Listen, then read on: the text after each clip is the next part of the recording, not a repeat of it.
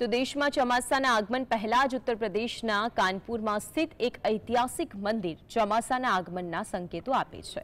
ગોળાકાર ગુંબજ અને સાચી સ્તૂપના આકારમાં બનેલા આ મંદિરને મોન્સૂન મંદિર તરીકે પણ ઓળખવામાં આવે છે. ભારતીય ખેડૂતો પ્રાચીન કાળથી હવામાન વિશે માહિતી મેળવવા માટે વિવિધ પદ્ધતિઓનો ઉપયોગ કરે છે.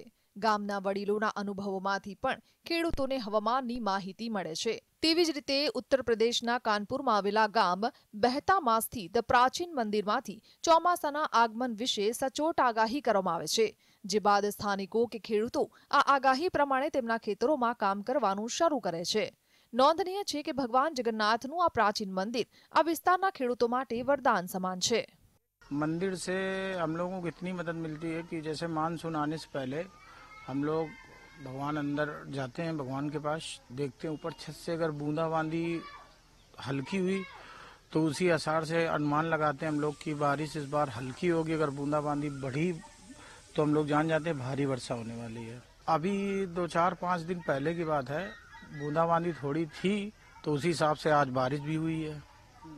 आज मौसम बहुत अच्छा है हल्की फुल्की बूंदाबांदी हुई है हमारे यहाँ।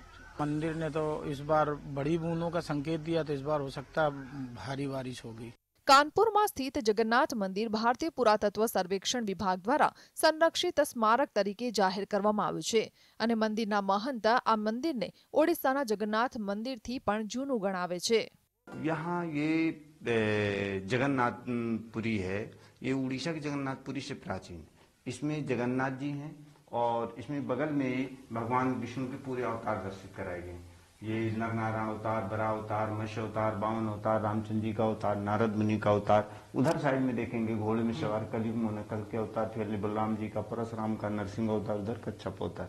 जिस तरह जैसे राम दरबार में भगवान के दशावतार का वर्णन किया गया वैसे भी यहाँ जो है भगवान के सभी अवतारों का वर्णन किया गया। अच्छा इस मंदिर का महत्व तो क्या है? देखिए ये मंदिर विश्व प्रसिद्ध मंदिर है। आज इसकी चर्चा मानसून पत्थर की चर्चा आज विश्व में चल रही और इतनी सटीक भविष्यवाणी करता है कि आज भी अच्छे अच्छे वैज्ञानिक भी आश्चर्य मानते जैसे ही मानसून बनता है, वैसे ही पत्थर पसीज के टपकने लगता है। इसकी तो गवर्नमेंट कार्बन डेटी बयालीस सौ ईशा पूर्व बताई जाती है। और बाहर की दीवारों की मोटाई है वो अठारह सौ तिरासी वर्ष बताई जाती है इसकी।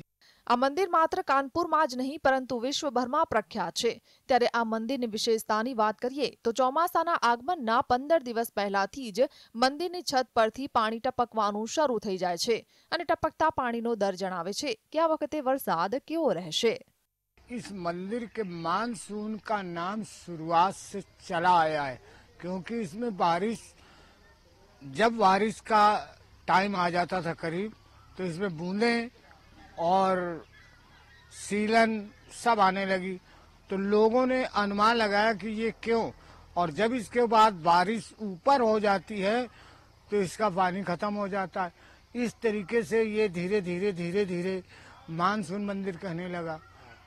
और सारे लोग इसके ऊपर आस्था रखने लगे। કાનપુરના લોકો આ મંદિરથી અનુમાન લગાવે છે કે આ વખતે વરસાદ કેવો રહેશે. આ મંદિર કાનપુર શહેરથી લગભગ પચાસ કિલોમીટર દૂર ઘાટમપુરના બહેતા બુઝર્ગ ગામમાં આવેલું છે. આ મંદિર દેશના અતિ પ્રાચીન મંદિરોમાંનું એક છે. તે ગોળાકાર ગુંબજ અને સાંચી સ્તૂપના આકારનું બનેલું છે. આ જગન્નાથ મંદિર સમગ્ર ભારતમાં અનન્ય છે. ભગવાન જગન્નાથજી અહીં બિરાજમાન છે. આ મંદિરમાં ભગવાનની મૂર્તિની ઉપરથી છતમાં ચમત્કારિક પથ્થરો છે, જે ચોમાસાના આગમનની સચોટ આગાહી કરે છે. એટલે જ આ ઐતિહાસિક અને પૌરાણિક મંદિરને મોન્સૂન ટેમ્પલ તરીકે ઓળખવામાં આવે છે. Bureau report